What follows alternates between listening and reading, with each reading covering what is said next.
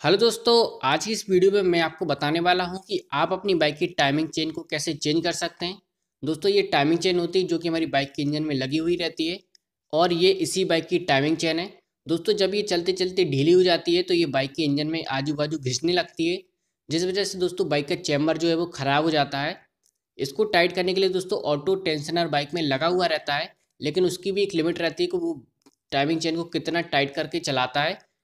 दोस्तों, आपकी बाइक में यहाँ से यहाँ तक टाइमिंग चेन घूमती है। अगर ये ढीली होकर चलती है तो आजू बाजू का चैम्बर घिस जाता है। जिससे दोस्तों, वो घिसा हुआ जो मेटल का पार्टिकल जो डस्ट रहता है, वो आपके इंजन ऑयल में सर्कुलेट होता है। और बाइक के इंजन के दोस्तों, जितने भी बैरिंग रहते हैं, या बासर रहते हैं, या फिर गाड़ी में लगी हुई दोस्तों ओरिंग रहती हैं, ये सारी दोस्तों मेटल वाले ऑयल से ख़राब हो जाती हैं और गाड़ी के इंजन में दोस्तों, काम निकलना चालू हो जाता है। साथ ही में दोस्तों, ढीली टाइमिंग चेन जो है, वो आपकी बाइक के अंदर साउंड प्रोड्यूस करती है। तो किस तरह का दोस्तों साउंड आता है, वो भी मैं आपको सुना देता हूँ। सबसे पहले दोस्तों मैं आपको टाइमिंग चेन बता देता हूँ, जो कि इस बाइक में लगने वाली है।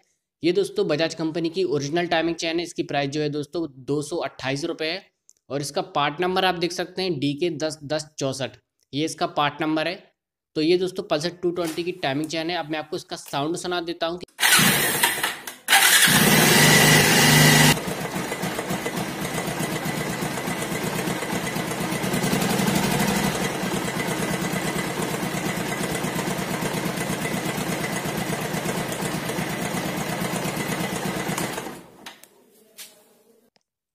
तो दोस्तों, इस तरह का टाइमिंग चेन का साउंड रहता है।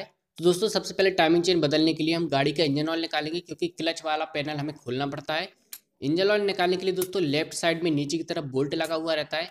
पल्सर बाइक में दोस्तों, सोलह नंबर का पाना लगेगा। सोलह नंबर के पाने से आप इसके ड्रेन बोल्ट को खोल के इसकी गाड़ी का जो ऑयल है दोस्तों, वो साला निकाल लें। और दोस्तों, मैं जो आपको इस वीडियो के अंदर तरीका बताने वाला हूँ, वो Pulsar one twenty five new model Pulsar one fifty, one eighty, Pulsar two hundred, Pulsar two twenty. इन सारी बाइकों का इंजन दोस्तों जो है वो सेम डिज़ाइन का रहता है। तो इसी वीडियो को देखकर आप उस बाइक की टाइमिंग चेन को बदल सकते हैं। और अगर आपको Discover Platina C T hundred वाली बाइक के इंजन की आपकी टाइमिंग चेंज चेंज की वीडियो आपको देखना है तो चैनल पे आपको वीडियो दोस्तों ऑलरेडी मिल जाएगी। आप वो वीडियो जाके चैनल पर देख सकते हैं। ऑयल निकालने के बाद हमें ड्रेन बोल्ट फिर से लगा देना है। अब हमें इसके क्लच चैम्बर को खोलना है। क्लच चैम्बर खोलने के लिए दोस्तों ये सारे नट हम निकालेंगे। उसके पहले हम क्लच केबल को डिस्कनेक्ट कर लेंगे। यहाँ से दोस्तों, ये देख सकते हैं, इसमें टोटल बारह बोल्ट दिए गए हैं, जो कि आठ नंबर के हैं। आठ नंबर के बारह बोल्ट को हम खोल लेंगे दोस्तों, आप देख सकते हैं। और मैं आपके लिए दोस्तों, इसी तरह की और भी मैकेनिकल रिपेयरिंग वीडियो लाता रहता हूँ। तो दोस्तों, चैनल को सब्सक्राइब कर लें। साथ ही में कुछ भी आपका क्वेश्चन रह जाता है तो आप उसको कमेंट बॉक्स में मुझसे पूछ सकते हैं। मैं आपका रिप्लाई ज़रूर दूँगा। और अभी आप देख लें, सारे बोल्ट हम खोल देंगे। ये देखिए दोस्तों, सारे बोल्ट निकल आएँगे। अब हमें इसके क्लच कवर को निकालना है। इस तरह से खींच के हम निकाल लेंगे। तो ऑयल दोस्तों, सारा आप निकाल लें, इस बात का ध्यान रखें। और ये टाइमिंग चेन हम इस गाड़ी के अंदर डालने वाले हैं। तो उसके पहले हमें दोस्तों इसका सेंट्री फ्यूगल फ़िल्टर खोलना पड़ेगा, क्योंकि यहीं से टाइमिंग चेन जो है, वो अंदर की तरफ़ लगी रहती है। ये दोस्तों इसमें लॉक गियर डाल देंगे। ये स्पेशल टूल्स रहते हैं दोस्तों, और सारे टूल्स की दोस्तों लिंक खरीदने के लिए आपको डिस्क्रिप्शन में मिल जाएगी। वहाँ से जाके आप सारे स्पेशल टूल्स खरीद सकते हैं। तो अभी हमने सेंट्रीफ्यूगल फ़िल्टर का जो तीन स्क्रू लगे रहते थे, वो हमने खोल लिए हैं। अब फ़िल्टर निकालेंगे। अब फ़िल्टर में से दोस्तों कुछ ऑयल भी निकलता है। साथ ही में इसमें बहुत सारे मेटल की पार्टिकल्स रहते हैं, क्योंकि ये फ़िल्टर कहलाता है तो इसी पार्टिकल को ये कैच करता है। तो अगर आप फ़िल्टर साफ़ करना चाहते हैं तो भी एक बार में कर लेंगे तो बेहतर रहेगा। अब दोस्तों इसके अंदर एक स्पेशल डिज़ाइन बोल्ट लगा हुआ रहता है, उसको हम इस वाले क्लच प्लर से खोलेंगे दोस्तों। इसको क्लच प्लर बोलते हैं, क्योंकि सेम डिज़ाइन का क्लच में भी लगा रहता है। लॉक गियर को डाल देंगे और इसको दोस्तों नीचे की तरफ़ खोलेंगे। तो ये खुल जाएगा। ये दोस्तों सीधा खुलता है और सीधा कसता है, लेकिन क्लच इसका अपोजिट चलता है। क्लच खोलने के लिए हमें इसको उल्टा घुमाना पड़ेगा। तो अभी दोस्तों हमने सेंट्रीफ्यूगल फ़िल्टर को निकाल लिया है। अब हम इसके क्लच असेंबली, जो कि क्लच प्लेट और क्लच हब है, उसको निकालेंगे। दोस्तों इस बाइक पे टाइमिंग चेन को चेंज करने के लिए बहुत सारे पार्ट खोलने पड़ते हैं। बहुत सारे दोस्तों जो है, इसमें नट बोल्ट वगैरह हमें खोलने पड़ते हैं, इंजन के अंदर घुसना पड़ता है। क्योंकि दोस्तों इस बाइक की डिज़ाइन जो है वो काफ़ी कॉम्पैक्ट है और काफ़ी हैवी बाइक है दोस्तों। इसलिए इसमें सारे पार्ट जो है वो पास पास में कसे रहते हैं। उस वजह से हमें कुछ भी इसमें बदलना पड़ता है तो काफ़ी कुछ खोला, कसी हमें इसमें करना पड़ता है। तो इसको खोलने के लिए हम इसको टॉप गियर में डाल देंगे और क्लच का जो मेन स्क्रू है, ये बोल्ट है जो दोस्तों, इसको खोल लेंगे। इसको उल्टा घुमाएँगे, इस बात का आप ध्यान रखें, ये उसका उल्टा खुलता है। और इसका अपोजिट कसाता है दोस्तों, ये उल्टा चलता है। अगर सीधा चलेगा तो क्लच खुल जाएगा। मतलब चलती हुई गाड़ी में क्लच ढीला हो जाएगा, ऐसी प्रॉब्लम आने लगती है। तो अभी हमने दोस्तों क्लच सेंटर को निकाल लिया है। अब हम क्लच हब को निकालेंगे। उसके पहले दोस्तों हमें इसका सीजर गियर निकालना पड़ेगा। सीजर गियर ऊपर लगा रहता है। उसके लिए हमने ये तीन खोल लेंगे। उसके ऊपर दोस्तों जो सीजर गियर का कवर लगा हुआ है, इसको निकालेंगे। ये छोटा सा सीजर गियर कवर यहाँ का आप ध्यान रखें, एक बासर और बेरिंग लगा हुआ रहता है अंदर का। अब दोस्तों, ये एक स्पेशल टूल है, आप देख लें। इसको सीजर गियर लोडर या फिर सीजर गियर पुलर बोलते हैं। कई लोग इसको बैलेंसर टूल भी बोलते हैं। तो इसको इसमें फंसा लेंगे। अगर मैं इसको डायरेक्ट खींच के निकाल लेता तो मैं समझ नहीं पाता कि अगर कंपनी ने इसमें कितनी लोडिंग करके दी हुई है। तो एज इट इज़ पोजिशन में हम निकालेंगे। अगर हम सेटिंग चेंज करेंगे तो गाड़ी में से हो सकता है साउंड जो है वो दोस्तों और बढ़ जाए या फिर क्लियर ना हो, इस बात का आप ध्यान रखें। अब हमें इसमें से ये गियर निकालना है। ये गियर इसी तरह सिंपली लगा हुआ रहता है, इसमें काटन लगी रहती है, उसका भी आप ध्यान रखें। अब दोस्तों जो टाइमिंग चेन है, वो यहाँ से आपको नज़र आने लगेगी। तो टाइमिंग चेन यहाँ से दोस्तों जो है, वो फ्री हो गई है, यहाँ से हम इसको खोल सकते हैं। लेकिन टाइमिंग चेन यहाँ से ऊपर तक जाती है तो हम ऊपर का भी दोस्तों पार्ट जो है वो खोलना पड़ेगा। अभी आप देख रहे हैं, मैं एक गाइड खोल रहा हूँ टाइमिंग चेन गाइड बोलते हैं जिसको, जो कि टाइमिंग चेन के ऊपर प्रेशर बना के रखती है। क्योंकि दोस्तों टाइमिंग चेन चलती हुई ढीली हो जाती है तो थोड़ी बहुत ढीली जो रहती है, वो चल जाती है। वो ऑटो टेंशनर से एडजस्ट होती रहती है, लेकिन जब उसकी एक लिमिट पार हो जाती है, जो कि गाड़ी साउंड बनाने लगती है, गाड़ी की कहीं ना कहीं परफॉर्मेंस में एक डिफरेंस आ जाता है। उसके लिए हम इसमें सारे पार्ट को चेंज करते हैं, जिससे बाइक की परफॉर्मेंस जो है, पहले जैसी नहीं, पहली जैसी रहे। ये दोस्तों ऑटो टेंसर लगा हुआ है टाइमिंग चेन टेंसर बोलते हैं। इसमें दस नंबर के बोल्ट को हम खोलेंगे। उसके अंदर स्क्रू ड्राइवर डालेंगे दोस्तों, ये छोटा वाला। उसके बाद इसको उल्टा घुमाएँगे। एंटी क्लॉक वाइज घुमाएँगे दोस्तों। लास्ट में जाके ये लॉक हो जाता है ऑटोमेटिक तो इसको लॉक कर देंगे। अब हमें टाइमिंग चेन दोस्तों जो है वो नीचे से एकदम फ्री हो गई है। अब हमें इसको ऊपर से खोलना पड़ेगा। सबसे पहले दोस्तों हम सीट निकालेंगे गाड़ी की। सीट निकालने के बाद गाड़ी का फ्यूल टैंक निकालेंगे, क्योंकि हमें गाड़ी के इंजन का हेड खोलना है। यहाँ पर दोस्तों ये वाला बारह नंबर का पाना लगेगा इसमें, फ्यूल टैंक में। फ्यूल पाइप को डिस्कनेक्ट करेंगे और फ्यूल सेंसर की केबल को भी डिस्कनेक्ट करेंगे, फिर हम फ्यूल टैंक को निकाल सकेंगे। अब दोस्तों हम इसके हेड को खोलना है। हेड आप देख सकते हैं, ये गाड़ी का हेड है। और यहाँ पर दोस्तों काफ़ी सारे सपोर्ट इसमें लगे हुए हैं। आप देख सकते हैं आठ नंबर के, बारह नंबर के, पंद्रह नंबर के सारे नट बोल्ट लगे हुए हैं इसके अंदर। तो एक एक करके आपको मैं बताता जाता हूँ कौन कौन से टूल्स लग रहे हैं। यहाँ पर दोस्तों आप ये जो देख रहे हैं, ये बारह नंबर का है। यहाँ पर तीन लगे रहते हैं बारह नंबर के दो चेचेस में और एक लगा रहता है इंजन के हेड पे। बारह नंबर का टूल इसमें लगेगा।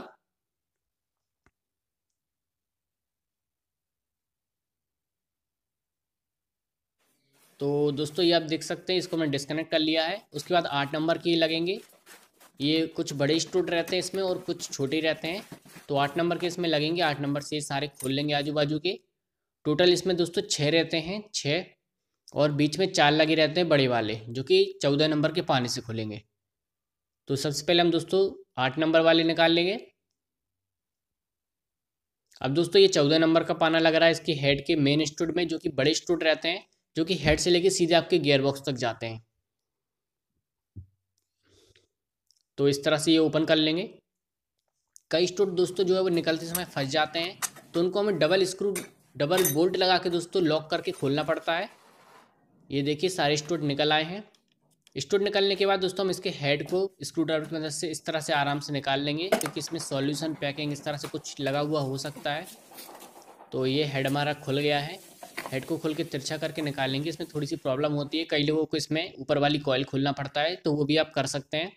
उसके बाद दोस्तों हम यहाँ से ये जो इसकी कैम साफ्ट लगी हुई है, उसको इस तरह से उठाएँगे तो टाइमिंग चेन जो है दोस्तों निकल आएगी, क्योंकि हमने टाइमिंग चेन को पहले ही ढीला कर लिया है, नीचे से खोल के उसके टेंशनर को लॉक करके।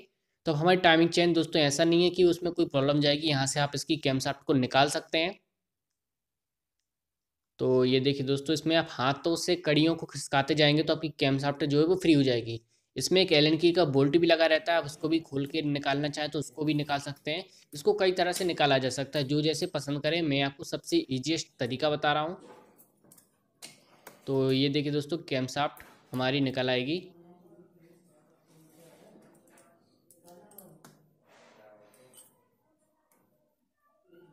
और भी इसी तरह की वीडियो देखने के लिए दोस्तों, मेरे चैनल को सब्सक्राइब कर लें, क्योंकि मैं आपके लिए इसी तरह की मैकेनिकल रिपेयरिंग वीडियो लाता रहता हूँ। तो जो भी नॉर्मल प्रॉब्लम है, वो आप अपनी बाइक की खुद से रिपेयर कर सकते हैं। हमने कैम साफ्ट दोस्तों निकाल ली है और टाइमिंग चेन भी गाड़ी से निकाल ली है। टाइमिंग चेन अब हम इसमें न्यू टाइमिंग चेन जो है दोस्तों, वो डालने वाले हैं, जो कि पल्सर टू ट्वेंटी की टाइमिंग चेन है। ओरिजिनल पार्ट है, जिसकी कीमत दो सौ अट्ठाईस रुपये है। पार्ट नंबर डी के दस दस चौंसठ है। टाइमिंग चेन निकाल लेंगे। ये टाइमिंग चेन में दोस्तों ऑयल लगा हुआ रहता है पहले से। और इसमें उल्टा सीधा जैसा कुछ नहीं रहता है। आप कैसे भी घुमा के इसमें डाल सकते हैं। ये दोनों तरफ़ से एक सी रहती है। तो अब आपको ऊपर से टाइमिंग चेन डालना है। उसके पहले आपको प्लग खोल लेना है दोस्तों। प्लग वाला जो आपकी वो साफ्ट जाती है अंदर की तरफ़, वो कटोरी निकाल लेंगे, जिससे टाइमिंग चेन नीचे चली जाए। तो अभी दोस्तों टाइमिंग चेन जो है वो नीचे पहुँच गई है। ऊपर हम कुछ फंसा देंगे इसमें इस तरह से। इससे वो टाइमिंग चेन वो जो है वो ब्लॉक के अंदर समेट ना जाए, इकट्ठी ना हो जाए। अब हम क्या करेंगे दोस्तों, सबसे पहले नीचे हम टाइमिंग चेन चढ़ाएँगे इसके गियर के ऊपर। क्रैंक का जो साफ्ट निकला रहता है दोस्तों, उसी में इसके गियर बने रहते हैं। उसमें हम टाइमिंग चेन को चढ़ा देंगे और इसमें ये वाला जो गियर रहता है दोस्तों, वो लगा देंगे। इसमें एक काटर लगी रहती है मतलब छोटा सा एक लोहे का टुकड़ा रहता है काटर बोलते हैं। तो उसमें ये गियर लॉक हो जाता है। जब आप अपनी बाइक को खोलेंगे तो आपको नज़र आ जाएगा, मैं क्या बोल रहा हूँ। तो आपको और भी अच्छे से समझ आएगा तो आप अपनी बाइक की रिपेयरिंग कर पाएँगे। काटर डाल के लॉक कर देंगे दोस्तों, जिससे हमारी टाइमिंग चेन नीचे से फिक्स हो जाए। अब हमें इस टाइमिंग चेन को ऊपर से फिक्स करना है। ऊपर से फिक्स करने के लिए हम इसको कैम साफ्ट में लगाना होता है। मैंने बाइक का कार्बोरेटर वगैरह ये सब खोला हुआ है दोस्तों, उसका रीज़न ये है कि उसका टाइमिंग चेन से कुछ लेना देना नहीं है। वो तो मैंने बाइक को खोला हुआ है तो साथ ही मैं उसको भी साफ़ करके लगा दूँगा, इसलिए है। तो आप उस पर ना जाएँ कि ये भी आपने क्यों खोला है तो उसकी कोई ज़रूरत नहीं है इसमें। अब दोस्तों, ये वाला हम, यहाँ पर एक ओरिंग लगी रहती है। ओरिंग को आप देख लें, और इस वाली, इसको लगा देंगे दोस्तों, यहाँ पर स्पार्क प्लग लगता है। और इसके नीचे एक छोटा सा एलन की वाला स्क्रू लगा रहता है दोस्तों, उसको भी टाइट कर देंगे। पुरानी टाइमिंग चेन निकालने के लिए इस इसको निकालना पड़ता है दोस्तों, जो कि मैंने पहले कर लिया था, वो सूट नहीं हो पाया था। तो अभी मैंने आपको बता दिया, पहले प्लग खोलेंगे स्क्रू निकालेंगे और इसकी जो जो सिलेंडर डाला हुआ है, वो निकाल लेंगे। और लगाने के लिए पहले सिलेंडर स्क्रू और फिर स्पार्क प्लग तो अभी स्पार्क प्लग को टाइट कर देंगे। तो ये देखिए दोस्तों स्पार्क प्लग लगा देंगे वापस। अच्छी तरह से स्पार्क प्लग टाइट कर देंगे। अब दोस्तों, आप देख सकते हैं यहाँ पर स्पार्क प्लग लग गया है, नीचे की तरफ़ टाइमिंग चेन भी फिक्स हो गई है। और यहाँ पर अपनी सेटिंग आपको बता देता हूँ, ये वाला आपको मार्क दिख रहा होगा। ये वाला मार्क जो है दोस्तों, वो हमारा ऊपर की तरफ़ रहना चाहिए। यहाँ पर मैं आपको दिखा देता हूँ, यहाँ पर एक निशान दिखेगा आपके लिए। आप देख सकते हैं फ्लैश जला लिया है, ये वाला निशान यहाँ पर आना चाहिए, जब हमें टाइमिंग चेन को लगाना है।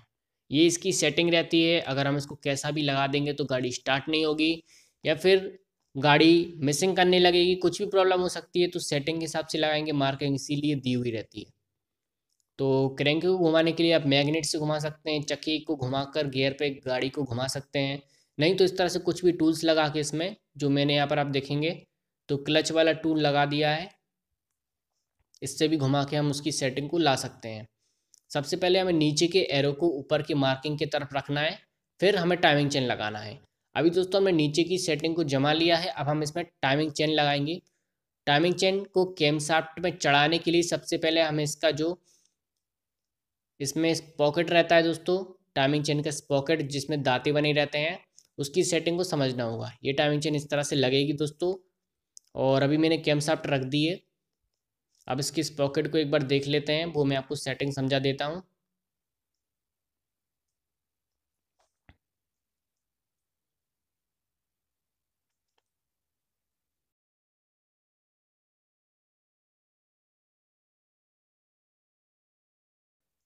यहाँ पर दोस्तों आप इसका ये पॉकेट देख सकते हैं। इसमें ये दोनों निशान दोस्तों जो बने हुए हैं, वो इसके आजू बाजू आएँगे बिल्कुल। और इसमें जो टी बना हुआ है दोस्तों, ये टी टी का मतलब रहता है टॉप ये सबसे ऊपर आता है। तो इस तरह से आपको इसमें लगाना है। साइड से इसमें अंदर डाल देंगे। इसमें दोस्तों एल की लगी हुई रहती है, जिसको खोलने के लिए छः नंबर की एल की चाहिए पड़ती है। सिक्स नंबर की एल की से आप इसको ओपन कर सकते हैं। मैंने इसको खोल के पूरा साफ़ किया हुआ था। पेट्रोल से या फिर आप डीजल से इसको क्लीन कर सकते हैं। कैम साफ्ट को क्लीन ना करें दोस्तों, क्योंकि कैम साफ्ट में बैरिंग रहते हैं तो बैरिंग में आवाज़ आने लगती है। तो उस पार्ट को क्लीन करें, जो कि आपको प्रॉब्लम क्रिएट ना करे। तो इस तरह से कड़ियों को खिसकाते जाएँगे आपस में, जिससे हम अपने सेटिंग के अकॉर्डिंग जो है दोस्तों, वो कैम साफ्ट और इसके जो इस पॉकेट को मैच कर सकें। कैम साफ्ट में भी दोस्तों अलग अलग डिज़ाइन रहती है क्योंकि उसमें भी इनलेट बल्ब और आउटलेट बल्ब को खोलने के लिए रोटर बने रहते हैं। तो उस हिसाब से सारा कुछ सेटिंग दिया हुआ रहता है। तो आप इसको कैसा भी ना लगाएँ, जो इसमें सेटिंग दी है वैसा लगाएँ। टॉप ऊपर आना चाहिए, यहाँ पर आप देख सकते हैं, टी ऊपर आ रहा है और आजू बाजू की मार्किंग इसके जो सराउंडिंग उसके पैरेलल पे है। तो ये देखिए दोस्तों, हमने अभी इसको फंसा देंगे इस तरह से कैम साफ्ट में घुमाकर। ये देखिए आ गई है। दोस्तों, अगर आप डिस्कवर, प्लेटिना या सी टी हंड्रेड की रिपेयरिंग की वीडियो चाहते हो, कैमसाफ्ट वाली, टाइमिंग चेन वाली तो वो मेरे चैनल पे ऑलरेडी है। तो आप मेरी चैनल को सब्सक्राइब कर लें, साथ ही में डिस्क्रिप्शन में लिंक दिया हुआ है उस वीडियो का तो वहाँ से जाके भी आप देख सकते हैं। तो अभी इसमें दोस्तों हम बासर लगा देंगे और जो इसमें एल की दी हुई है उसको भी लगा देंगे। ये देखिए। जो भी दोस्तों इसमें मेन काम है, जो कि सेटिंग का है, समझने का है, वो सारा कुछ मैं आपको आराम से बता रहा हूँ। अभी हमने इसकी टाइमिंग चेन को फंसा दिया है ऊपर। अब बासर के साथ एल की को टाइट कर देंगे। छः नंबर की एल की लगेगी दोस्तों। एल की को इस तरह से टाइट करके फिक्स कर देंगे एकदम, क्योंकि अब यहाँ पर खुलने का कुछ काम नहीं रहेगा। अब हमें डायरेक्ट टाइमिंग चेन को टाइट करना पड़ेगा। तो किसी भी तरह के लॉक लगा के हम इसमें इस तरह से ऊपर करेंगे तो ये टाइट हो जाएगी टाइमिंग चेन का, जो मेन स्क्रू है। अब यहाँ से दोस्तों टाइमिंग चेन नीचे से और ऊपर से एकदम फिक्स हो गई है। अब हमें इसमें जो है, जो टेंशनर रहता है दोस्तों, उसको खोलना है। अभी हमने लॉक किया था पहले, अब हमें उसको खोलना है, जिससे जो भी टाइमिंग चेन ढीली है, वो टाइट हो जाए। और अगर इसमें कोई भी कड़ी एक के ऊपर एक चढ़ी हुई है या फिर कुछ भी प्रॉब्लम है तो वो हमें अभी समझ आ जाए। इसको खोल देंगे तो ये सारा कुछ एकदम से टाइट हो जाता है, जो भी हेड वगैरह हिल रहा था। अब हम इसको ऊपर करके देखेंगे क्या ये ऊपर हो रही है। तो दोस्तों, ये ऊपर नहीं हो रही है। साथ ही में नीचे से भी टाइमिंग चेन टाइट हो गई है। अब हमें दोस्तों सीजर गियर लगाना है। सीजर गियर लगाने के लिए ये बैलेंसर रहता है, इसको आप कैसा भी घुमाएँगे तो ये अपनी पोजीशन पे आ जाएगा। इसमें भी एक मार्किंग दी होती है, जो कि आप नीचे से देखेंगे तो आपको नज़र आ जाएगा। ये मार्किंग यहाँ कहीं आती है। तो जब आप नीचे से देखेंगे तो वो आपको मार्किंग दिख जाएगी। तो उस तरह से आपको इसको मार्किंग सेट करना है, फिर हमें सीजर गियर को लगाना है।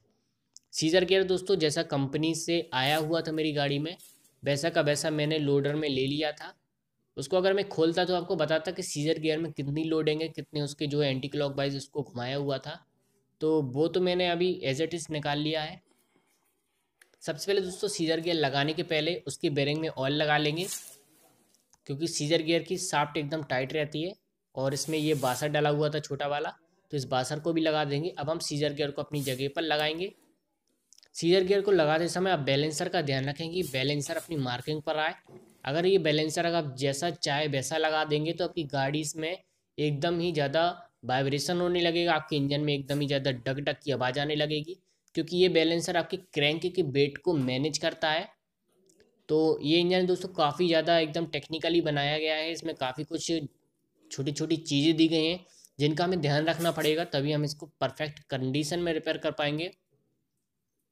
तो अभी दोस्तों सीजर गियर हमने लगा दिया है, बैलेंसर का भी मार्किंग देख ली है। इसकी मार्किंग का ध्यान रखें, बैलेंसर की मार्किंग का ध्यान रखें। उसके बाद हम इसमें क्लच हब को लगा देंगे, ये क्लच हब लगा देंगे।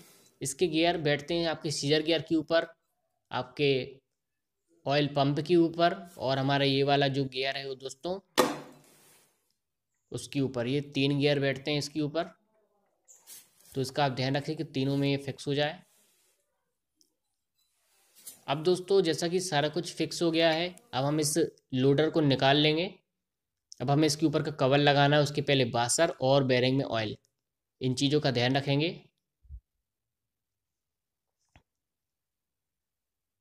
इसमें बोल्ट लगा देंगे तीनों, आठ नंबर के लगते हैं इसके अंदर। टाइट कर देंगे अच्छी तरह से।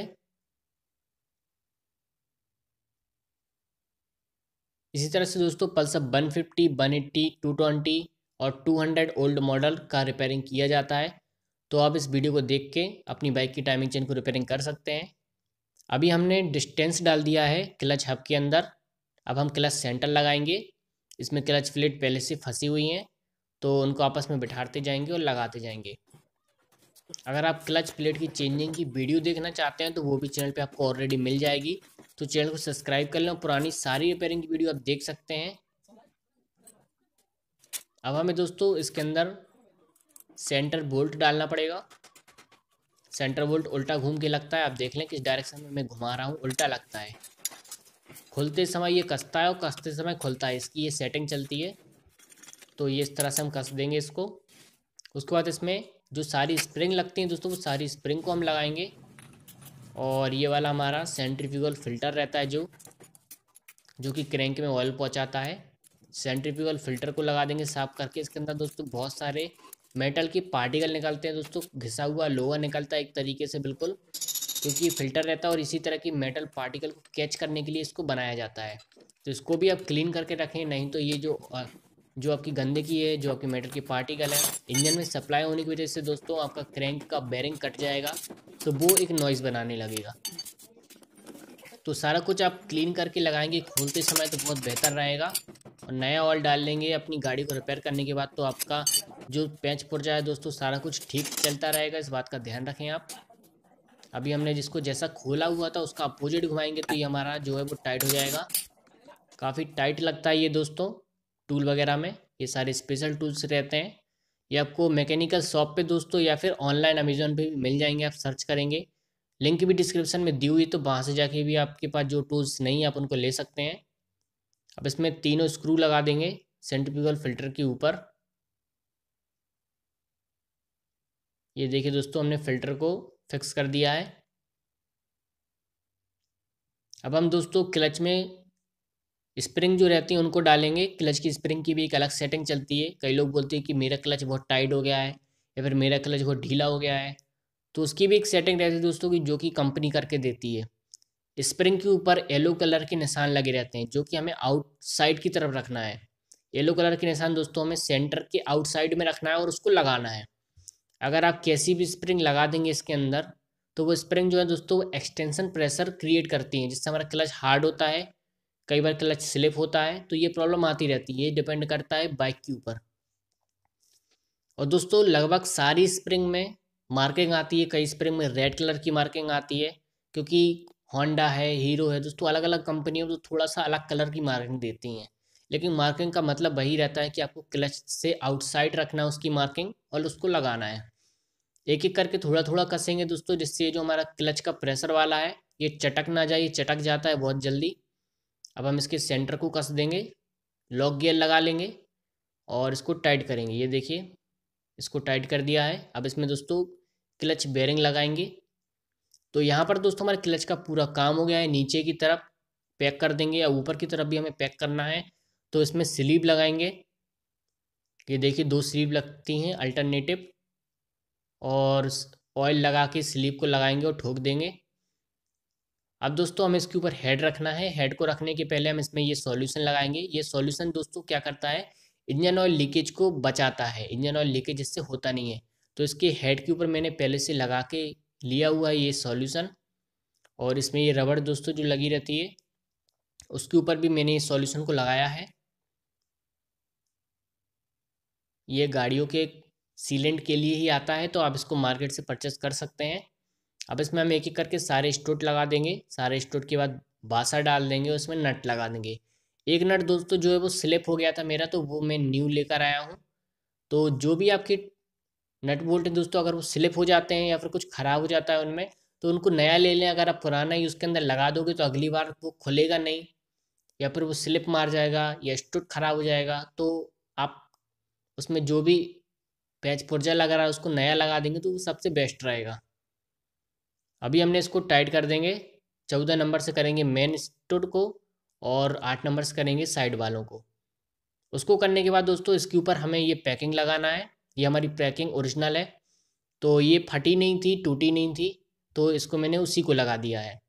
अब इसमें सारे आठ नंबर के लगाएँगे और इसका जो क्लच वायर रहता है, उसको भी लगा देंगे। तो इसमें ये सारे आठ नंबर के लगा लेंगे। टोटल बारह लगते हैं दोस्तों।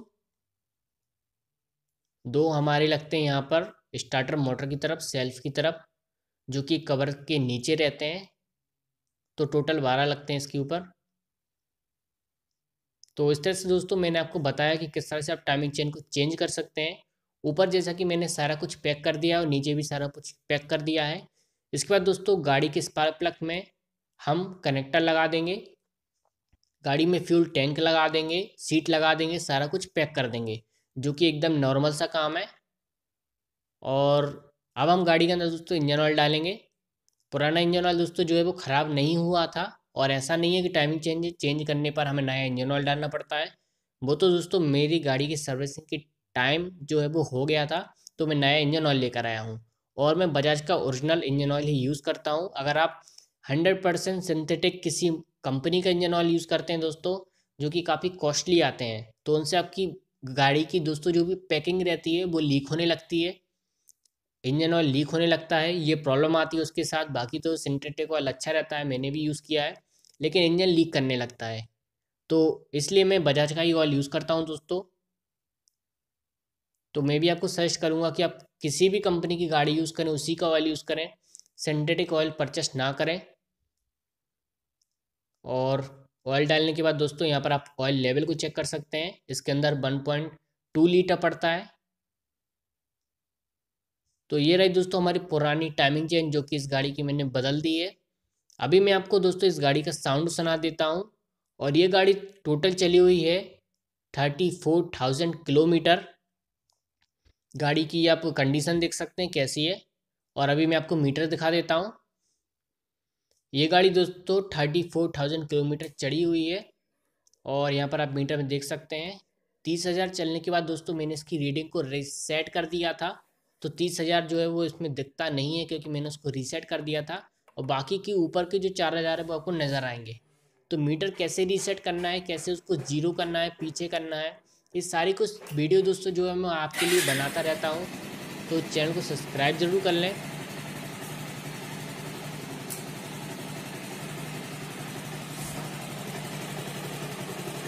अभी आप दोस्तों गाड़ी का साउंड सुन सकते हैं बैकग्राउंड नॉइस को इग्नोर करें। गाड़ी का मेन साउंड सुने, किस तरह से आ रहा है एकदम।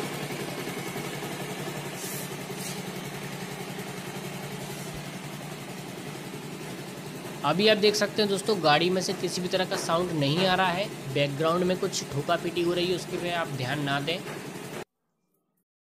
तो दोस्तों, ये वीडियो आपको कैसा लगा मुझे कमेंट बॉक्स में ज़रूर बताएँ। साथ में इसी तरह की और भी रिपेयरिंग वीडियो देखने के लिए दोस्तों, चैनल को सब्सक्राइब कर लें, क्योंकि मैं आपके लिए इसी तरह की और भी रिपेयरिंग वीडियो लाता रहता हूँ।